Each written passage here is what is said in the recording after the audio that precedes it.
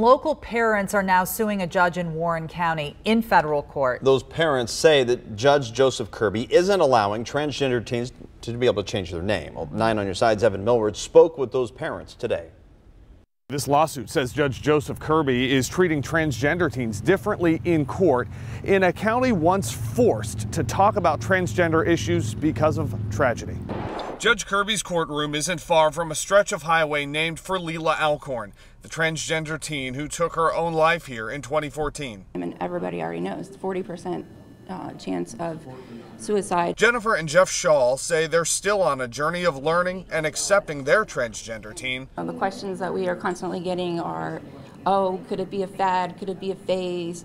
Um, I can tell you without a doubt, it, it's not a fad. They've applied for a name change for their transgender son and are now part of a lawsuit against Judge Kirby. My view is the parents do not want their children to have to go through a hearing where they won't be treated um, fairly and the same as any other child. Kylan Whitaker says he's seen it firsthand, fighting to change his transgender son's name in Warren County.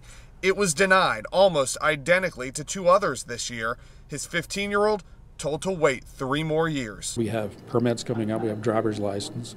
Uh, you can't change a social security number or a birth marker without the legal name change, and that is blocking all this. Attorney Josh Langdon says Judge Kirby asked inappropriate and irrelevant questions during that hearing, focused on which restroom the child used and if he was inspired by Caitlyn Jenner. He says this is happening in other Ohio counties too, as more parents approve of name changes. As people start to understand their rights and they start to understand that um, there, there is this option to make life easier for your children. In this case is in the early stages. It was just filed today. In the meantime, one of the families in this case will be right back here for a name change hearing in a little more than a week. We'll be following it.